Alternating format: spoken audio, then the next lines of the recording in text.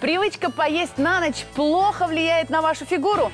Эту проблему мы сейчас решим. Приготовьте вкуснейший овощной чили по рецепту Анечки Кушнирук. Анюта, привет! Рада тебя видеть, потому что у нас с тобой в этом смысле, я думаю, есть общие интересы. На ночь скушать что-нибудь вкусненькое. Покусочничать чего-нибудь, да? Пока не видит и не слышит Светофус.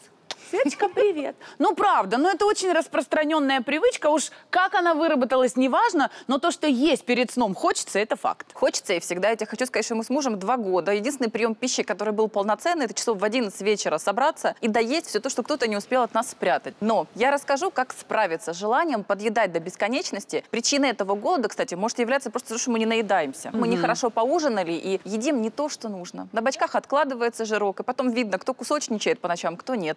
Тебе вот не видно, кстати, предательски. А вот просто я специальную юбку такую одеваю, чтобы было незаметно.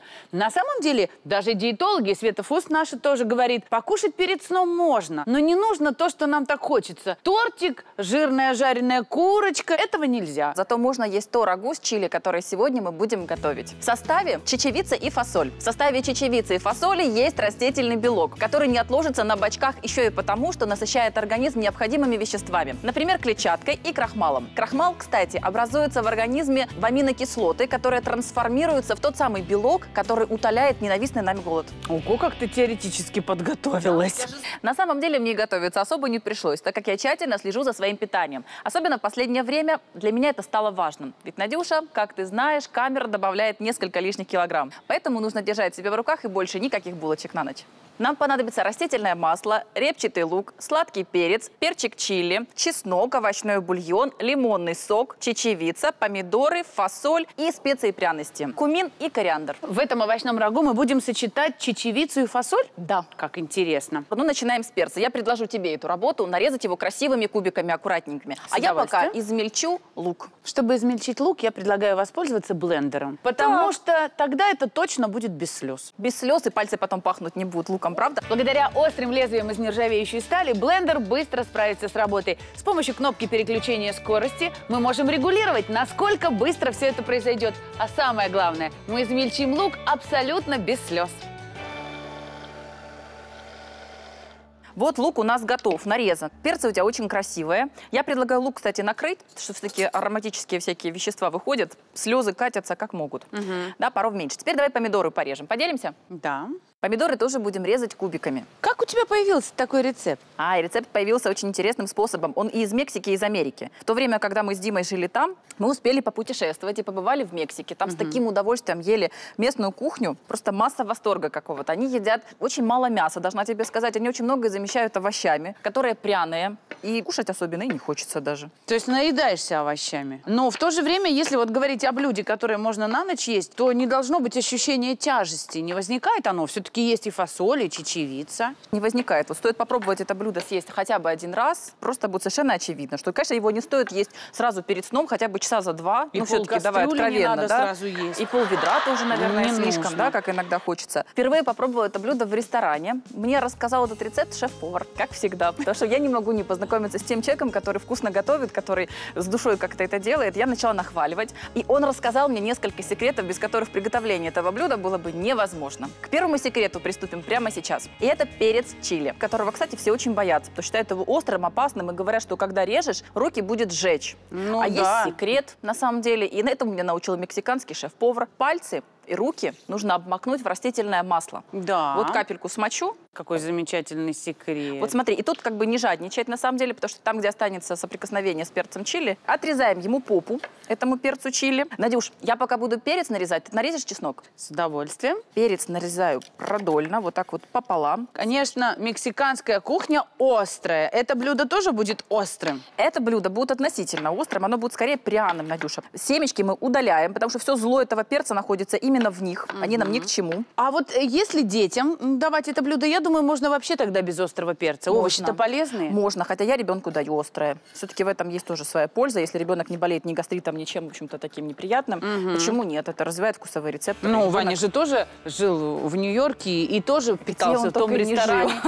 Но сейчас, когда вы уже вернулись в Украину всей семьей, и Ванечка ходит в школу здесь, он не скучает по Америке? Он скучает по времени свободному, знаешь, потому что там все-таки на самом деле мы гораздо больше времени проводили с семьей, когда Мгм. встречались. Здесь график другой, мы меньше видимся. Ну, ему здесь комфортнее, как и мне, как и мужу, собственно говоря. Всем нам здесь лучше Дома. и приятней, да. Я поставлю сотейник на огонь для того, чтобы он уже разогревался. То есть мы будем готовить рагу прямо в кастрюльке или в Абсолютно сотейнике, да? верно. Конечно, есть у меня одно сомнение по поводу этого блюда. Хоть я и Какое? люблю бобовые, но вот представь, на ужин нужно приготовить чили, овощное рагу, а фасоль полдня варить. Настоящая хозяйка, ты-то знаешь, да, что фасоль, с ней быстро дел не делается никаких. Я фасоль замачивала эту на ночь, на 9 часов. Предварительно она была замочена. Но я открою сегодня секрет, который позволит. Вот хочешь приготовить сейчас на сейчас? Можешь. Можно с фасолью справиться очень хитрым способом. Отлично. Мы с тобой в наш сотейник опускаем все овощи, кроме помидоров. Начнем с лука. Отправляем лук в кастрюльку на огонь. Только следим за тем, чтобы он не пригорал. Перец, туда же перец чили.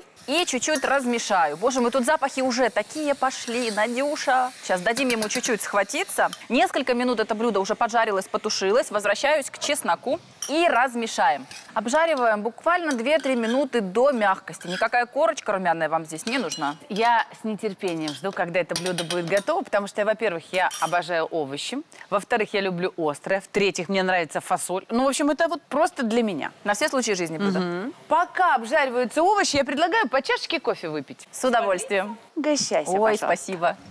Как приятно за чашкой ароматного кофе узнать рецепты новых вкуснейших блюд. Нескафе Классик. Все начинается с Нескафе.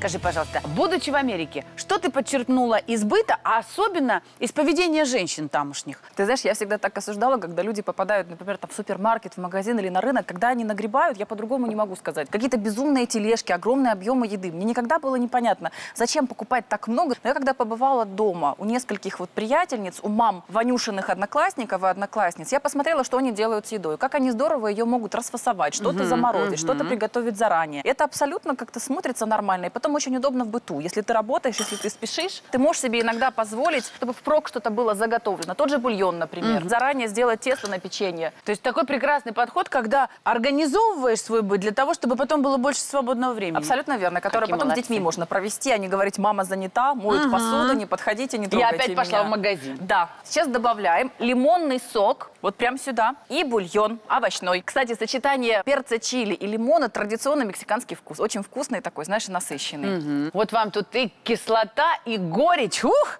Размешаю немножечко, чтобы все прониклось этим божественным ароматом. Смотри, сейчас больше похоже на суп, но мы ведь еще забросим туда ингредиенты, которые будут впитывать в себя воду. Бульона можно налить гораздо меньше, чтобы есть не суп, а все-таки какой-то, условно говоря, рагу по-нашему. Вот если не хочется возиться с фасолью, не успела, забыла, что угодно. Есть секрет, который позволит использовать ее в приготовлении сразу. Мы берем фасоль, заливаем ее холодной водой, кипятим ее в течение трех минут. Она закипела, накрыли крышкой, дали ей полностью остыть.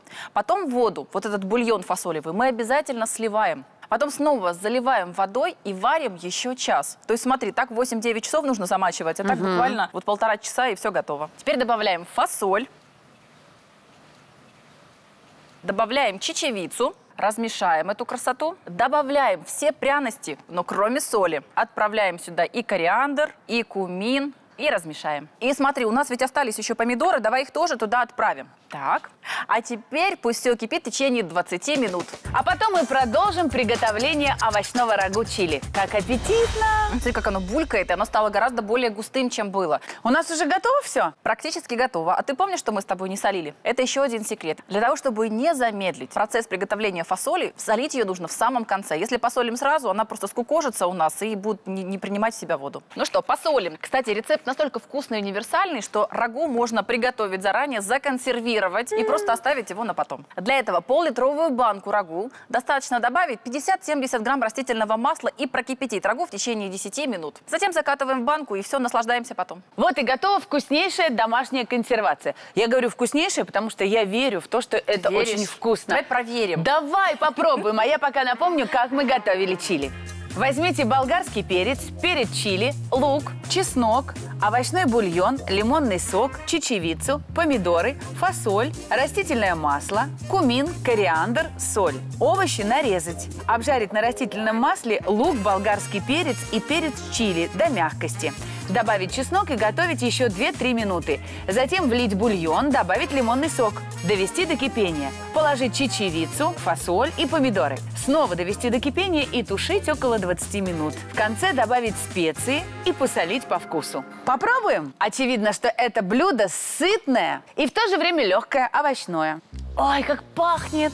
Очень вкусно. И остренько, правда? Угу. Ну, согласись, если ты съешь такую тарелку, подъедать не захочется. Абсолютно. Сытно, легко, оригинально. Я тебе благодарна за этот рецепт, который всем нам поможет и вкусно питаться, и не поправляться. Браво! Привет, YouTube! Тебе понравилось это видео? Тогда оставляй комментарий и делись им со своими друзьями. А еще подписывайся на наш канал, и ты узнаешь обо всем первым.